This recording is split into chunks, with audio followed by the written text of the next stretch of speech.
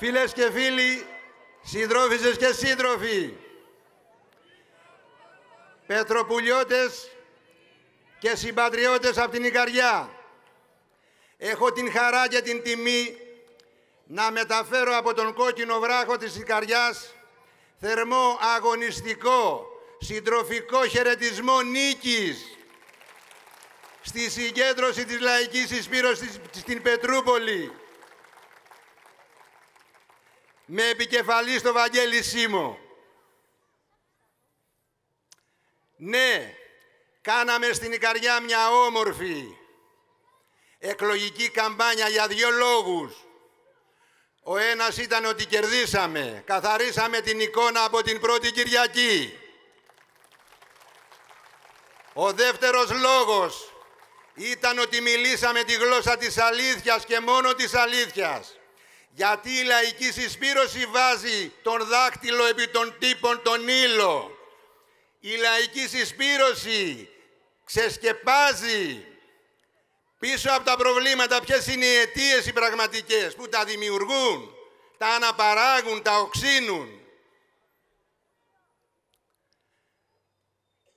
Μας εστήριξε κόσμος που δεν συμφωνεί απόλυτα μαζί μας.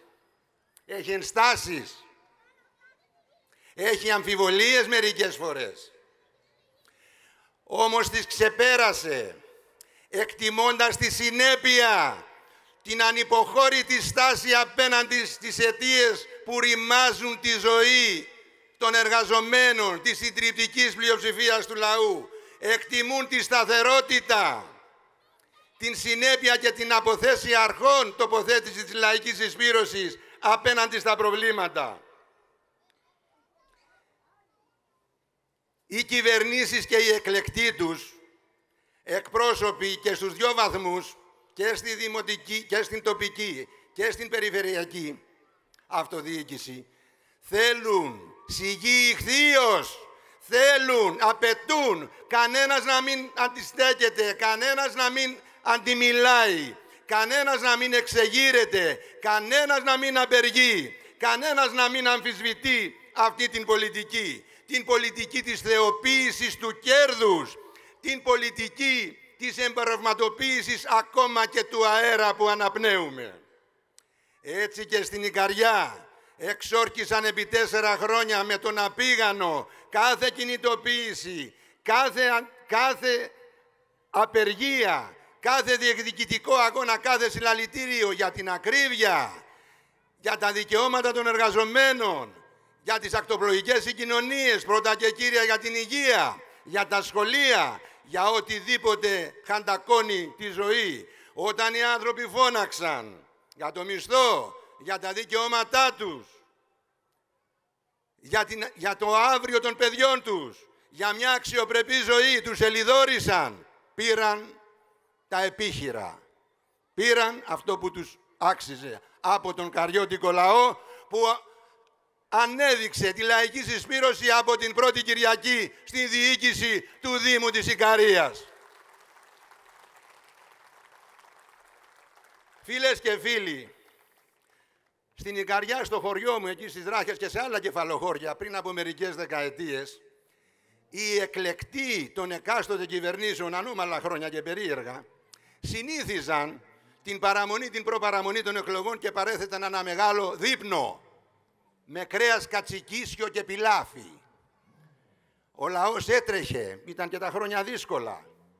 Μετά το άνοιγμα της κάλπης προσπαθούσαν να αντιστοιχίσουν τους πιλαφίσαντες με τους ψηφίσαντες.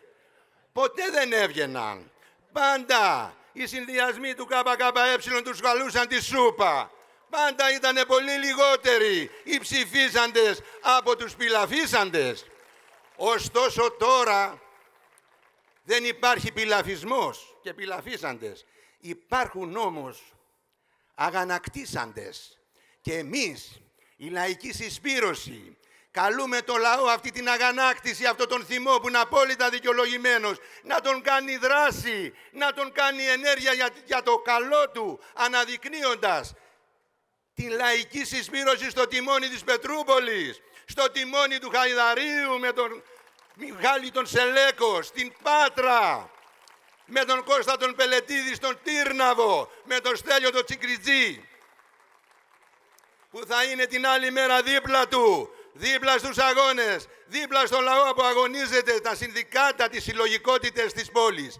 Και για να αποκρούσουν τις αντιλαϊκές εργατοκτόνες πολιτικές, αλλά και για να παλέψουν για τα τοπικά προβλήματα από καλύτερες θέσεις, γιατί και αυτά έχουν ρίζα ακριβώς αυτές τις πολιτικές. Κάντε το λοιπόν, όπως στην Ικαρία.